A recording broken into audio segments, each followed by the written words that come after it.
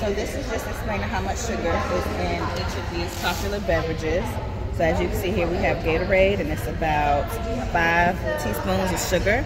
If you go all the way down to the Mountain Dew, Mountain Dew has 15 and a half teaspoons of sugar wow. in one bottle. Uh, Pepsi has about 13. This Welch's grape juice, which is really popular as well, is about 11 teaspoons of sugar just in this. Mm -hmm. And this one is seven teaspoons of sugar just in that one can.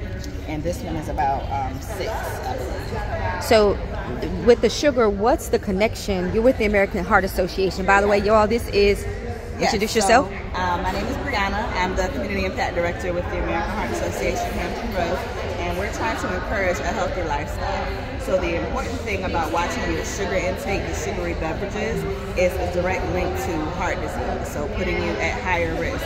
So the thing is there are certain risk factors that put you at higher risk for heart disease, such as obesity, diabetes, things like that. And sugary beverages can directly um, impact, you know, how much you weigh um, and obesity. So. And your body fat, the body fat percentage as well. So y'all take a look again. So what's their better choice if the they have to? is going to be water, which I've been drinking, sipping on as you can see. That's your better um, choice. And the other thing too is there's opportunities to make infused water. So if you want to add like fruits to mm -hmm. your water, so cucumbers, ginger, lemon, ginger, right. pineapples is another one, mm -hmm. um, just to give you that kind of sweet taste, so you right. don't feel like you're just drinking plain water. Um, but yeah, that's a better option. All right, y'all heard. These sugary beverages are a direct connection to heart disease. And now statistically, can you tell us something about heart disease? This is American, um, this is Heart Health Month. Yes, mm -hmm. so heart disease is actually the number one killer of all Americans in the United States. Um, uh, what's interesting is specifically for women, women think that, a lot of women that I know think their number one killer is breast cancer, mm. but it is actually heart disease. So heart disease was once thought to be just a man's disease, but right. it's actually not. You know, women suffer from heart disease as well, which is more the reason why we're trying to get out in the community right. and really raise awareness about what heart disease is and how you can okay. decrease your risk. And I see here there's a direct connection with stress. Mm-hmm. Yes. And heart disease. Stress is not good can for you... your heart. It's not. It's not good for your heart. Absolutely, absolutely not. Because stress can raise your blood pressure, mm-hmm. and you know high blood pressure is a direct you know, linked to heart disease. Um, it can lead to um, stroke. It can lead to heart attacks.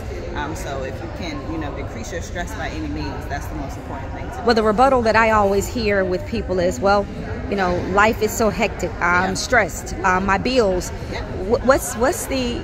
How, how do they get past that? Yeah, so the important thing is to have, you know, things that you can do to relieve stress. Mm -hmm. So one thing that's really important is exercising. You know, it's important to exercise and that's really twofold because one, if you're exercising, then you are watching your weight by mm -hmm. exercising and it also can be a good stress relief for you so that you're right. not, you know.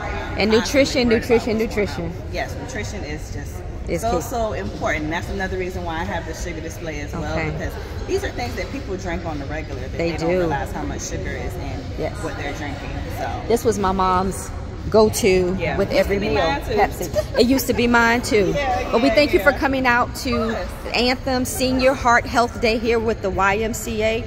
Um, all of us are trying to raise aware awareness on proper nutrition, health, and taking care of your heart. Thank you, Brianna.